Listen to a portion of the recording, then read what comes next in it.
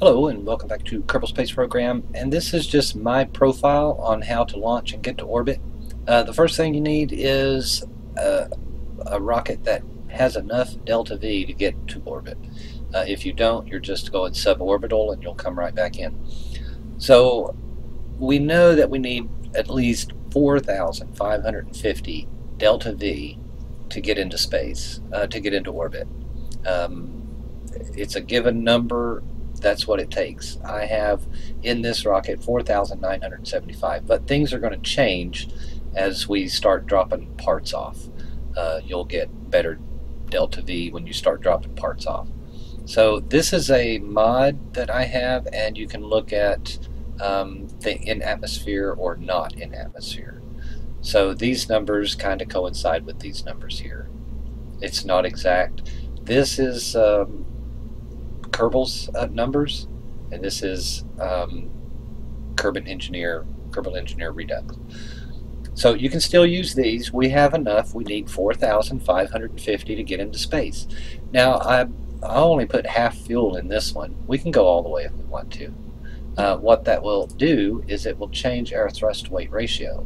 Let's go all the way with this one, and you can see thrust weight ratios are changing. We're 1.54. You just have to be greater than 1.5 1.25 or something. 1.54 is a good number, 1.25 is a good number.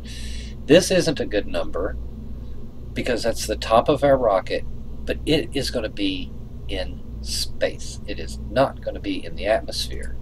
So when you change that, you change the numbers again, and you end up with 1,651 delta V in the top portion of this rocket once we uh, separate it.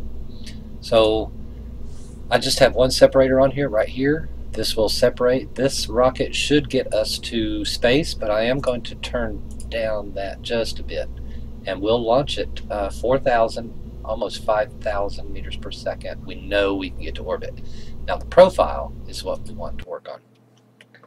What do you do? Do you go straight up till you get out of the atmosphere and then turn east and burn full blast you can you can go up to 70,000 meters and then rotate to the right and blast away quick as you can because you're going to start falling again.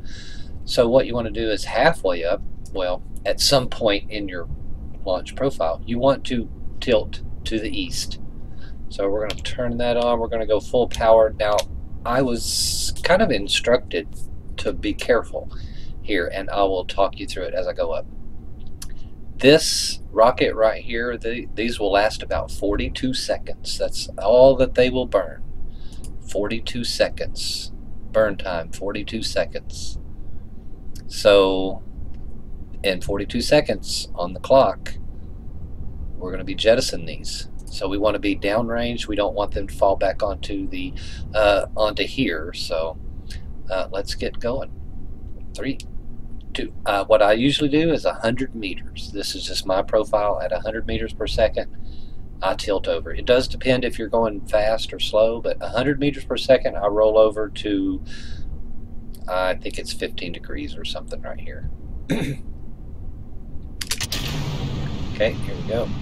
We're going to watch this number. This is a quick rocket. Uh, its thrust to weight ratio is 1.6 and it's gaining 1.7. So at some point we want to slow down. Okay, we're at 90 meters per second. Here we go at 100. I'm going to roll over. And that uh, reticle is going to follow us down.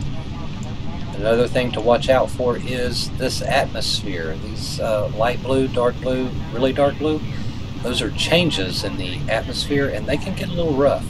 So we're going 300 meters per second. I'm going to back down on the throttle a little bit. I don't want to be going 900 meters per second inside. Okay, there we go. To lose those. Uh, I'm going to flip. I wasn't paying attention.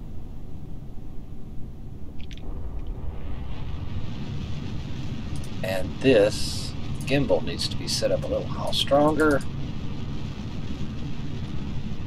That can happen if you don't have um, maybe fins. Fins will help, but watch your speed here. See, I'm, I'm gaining speed really quick now. I don't want to gain that much until I get really out of here.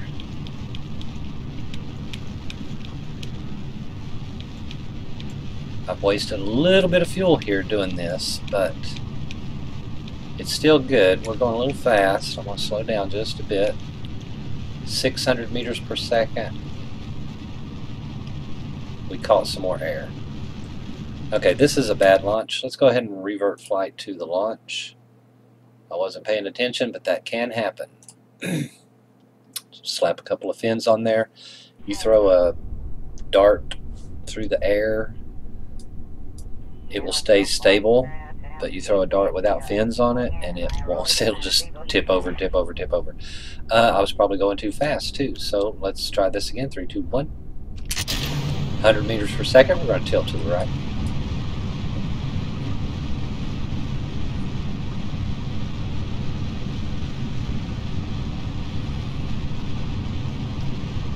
We're at 90 meters per second.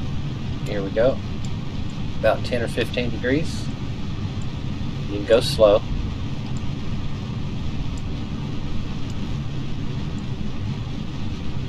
Slow down just a bit. We don't want to go too fast through this lower atmosphere because you're just pushing against the wind. Just ain't helping. Getting things hot. We're at 300 meters per second. Okay, drop those off. Our vehicle just got a little lighter. We gained a little bit of thrust to weight ratio. So we're going to try to maintain that. You can lock that on there. I don't normally. Okay, we're into the light blue area here. Just continue to tip, tilt, tilt, tilt.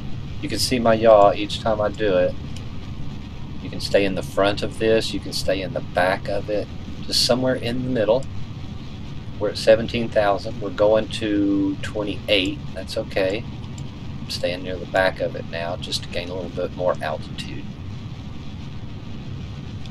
A little more altitude quicker. We're at the 45 degree mark right here. We're at 25,000 meters. We're at 40,000 meters, uh, hopefully. This is your apoapsis. We want that to be, I don't know, 80, 75, something like that. We're pretty stable right here. We're going 700 meters per second. We can back it down a little bit. We don't have to go that fast.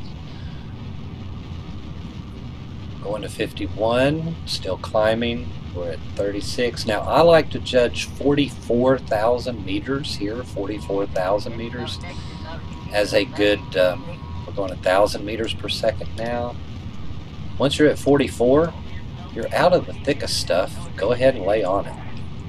Get it, crank it over. We're at 70. We are in space. Well, sorry, we are heading to space. But there's not a lot of air up here. We're at 51,000 meters. We're still in atmosphere. Let's go to 80.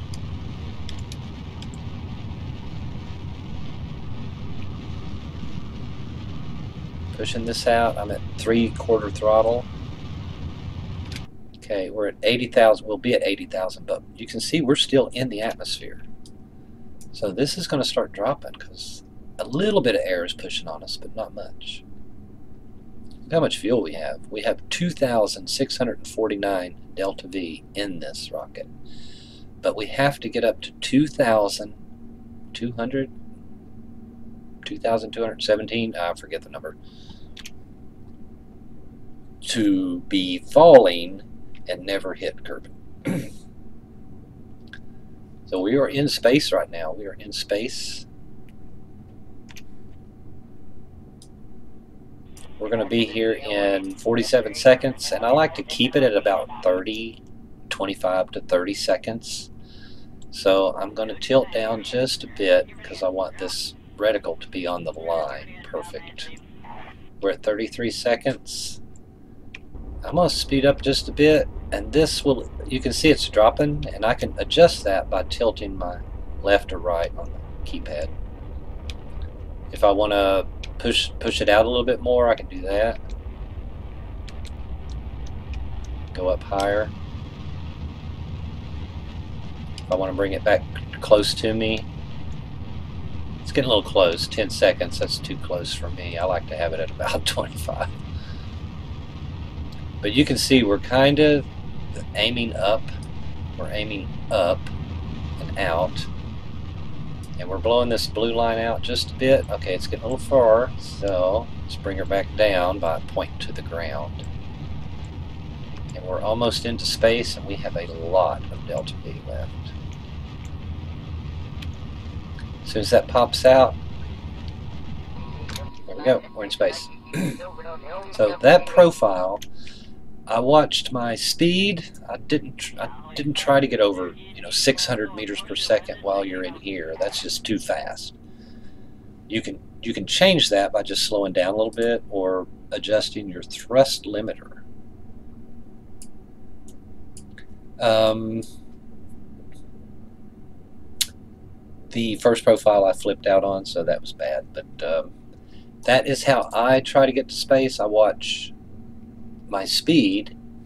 I watch where I am here and then the angle. And it is, you know, there's, you don't want to be laying down when you're in this blue one because you're just going to be pushing against the air. This lighter air, you can be tilting just a little bit more. Then when you're way up here like 44,000, there's hardly any air. Just go ahead and, and flip over. You Then you can start shooting for the sideways. So in the first blue, you want to you don't want to be too steep at an angle to the to the east. Uh, in the middle blue, you don't want to be laying down either. You don't want to be laying down. You can come down a little bit, but just don't lay down. And watch your speed. Don't be more than 600 meters per second. Just keep slowing down your throttle. Um, and then when you're up to 44,000, roll over and you know light the fires and just watch your apoapsis and it gets you a perfect orbit. We're in 85 by 80. So, oh, I've got uh, CurbLab right here at 77. So we could rendezvous if we wanted to. Now, look how much delta V we have, 1,717. This is a big rocket. we can launch for the moon with this. It takes 850 to get to the moon. So let's put us uh, thing here to get to the moon. We want to go 824. We want to go 850. So 846, and you can see we have the intercept already. So 846 minus 1017 is going to leave us about 900, or eight, yeah, 900 or something like that. Pretty close to 870. I don't know the math. But 870, once you get here, you only need 350 to get captured. So this rocket, this stage right here, will get us all the way to the moon, slow us down, get captured, and it'll have some left over. Now we can ditch it, we can use it to get into a really tight, close orbit and then ditch it. We can ditch it on the way there, it doesn't matter. but after we break the this off, we're going to have 1,651 meters. That That's enough to get to the uh, surface. You need 600 to get to the surface, so we're going to have 1,000 left. And you'll need, uh, well, 600 to get back up. And then, I forget what you need. I don't think this is strong enough to get us back. Well, we could use a lot of this getting to, getting to the ground so we would have a lot left over. But this is a pretty good rocket to uh, to go all the way to the moon and back. Anyway, hope you liked the video. Leave a like, comment, subscribe for more, and thanks for watching.